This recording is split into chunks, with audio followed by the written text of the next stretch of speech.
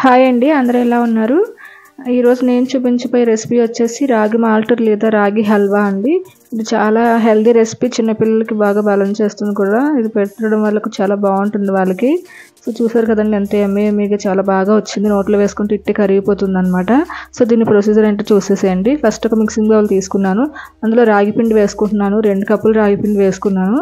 Actually ఇది రాగులతో finger millets అంటారు కదా రాగులతో కూడా చేసుకోవచ్చు.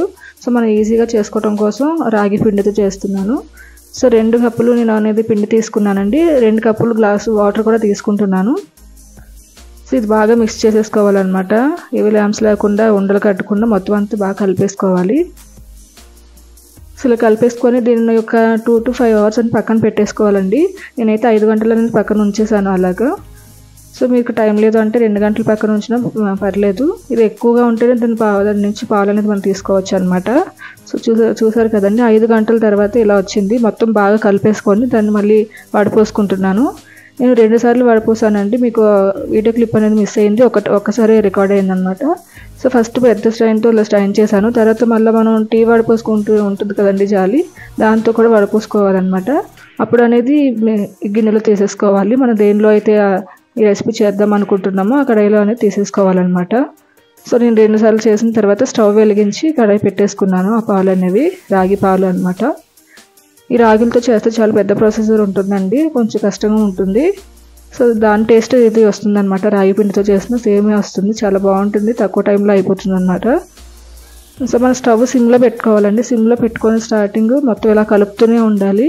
దగ్గర నేను పది నిమిషాల వరకు ఇలా కలుపుతూనే ఉన్నాను అనమాట సో చూసారు కదండి దగ్గర పడుతూ ఉంది మంట అనేది తక్కువే పెట్టుకోవాలండి. లో ఫ్లేమ్లోనే మొత్తం అంతా జరగాలి. హై ఫ్లేమ్ అస్సలు పెట్టొద్దు.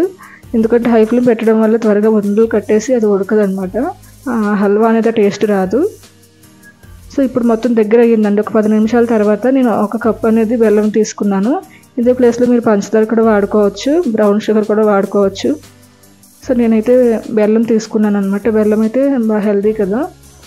సో అది కూడా ఫస్ట్ అయితే వాటర్గా అవుతుంది. మొత్తం బెల్లం అంతా కరుగుతూ ఉంటుంది అనమాట సో మనం అలా కలుపుతూనే ఉండాలండి మధ్య మధ్యలో.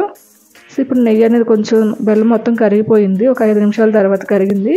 ఇప్పుడు వచ్చి ఒక టేబుల్ స్పూన్ నెయ్యి అనేది వేసుకున్నాను. ఇది హోమ్ మేడ్ గీ అనమాట సో కొద్దిగా స్మెల్ కోసం అని చెప్పేసి నేను యాలకుల పొడి వేసుకుంటున్నాను. మీరు వేసుకుంటే వేసుకోవచ్చు లేకపోతే లేదు. సో నేను అలా కలుపుతూనే ఉన్నానండి. మధ్య మధ్యలో ఆపకూడదు. నెయ్యి మాత్రం మొత్తం టోటల్ రెసిపీకి వచ్చేసి ఒక కప్పు వరకు నెయ్యి పడింది. మీరు ఇదే ప్లేస్లో నూనె కూడా వాడుకోవచ్చు. కొన్ని నూనె కన్నా నెయ్యి అనేది మనకి హెల్దీ అనమాట సో ఇలా ఒక్కొక్క స్పూన్ వేస్తూ అలా కలుపుతూనే ఉన్నాను. నాకైతే ఇది మొత్తం చాలా టైం పట్టింది. మనం మధ్యలో మాత్రం అలా వదిలేసి వెళ్ళకూడదు. ఇలా నాన్ స్టిక్ కాబట్టి మనకి కొంచెం త్వరగా ఈజీగా అయ్యిందనమాట సో చూసారు కదండి మొత్తం అలా రెడీ అయిపోయింది. నేను ఒక పది నిమిషాల వరకు మళ్ళీ ఇలా కలుపుతూ ఉండగా ఇప్పుడు నెయ్యి అనేది రిలీజ్ అవుతుంది మనం వేసింది మొత్తం. సో ఇలా రిలీజ్ అయ్యిందంటే ఆ రెసిపీ రెడీ అయిపోయినట్లే అనమాట సో ఇప్పుడు వచ్చేసి మనం డ్రై నట్స్ ఏవైనా డ్రై ఫ్రూట్స్ మీకు నచ్చినవి అనేది యాడ్ చేసుకోవచ్చు. ఇవి అనేది ఫ్రై చేసుకోకుండా వేసుకుంటేనే బాగుంటుంది అనమాట సో ఇలా వేసేసుకొని మొత్తం అంతా ఒకసారి కలిపేసుకోవాలి మిక్స్ అయ్యేంత వరకు. సో నెయ్యి అనేది చూసారు కదండి అలా రిలీజ్ అవుతుంది కదా. ఇది పక్క పర్ఫెక్ట్గా రెడీ అయిపోయింది అనమాట రెసిపీ అనేది. రాగి మాటలు లేదా రాగి హల్వా చిన్నపిల్లల నుంచి పెద్దవాళ్ళ వరకు చాలా బలబద్ధకమైన ఆహారం అనమాట సో ఈ వీడియో మీకు నచ్చినట్లయితే నా ఛానల్ సబ్స్క్రైబ్ చేసుకొని షేర్ చేసి లైక్ చేయండి.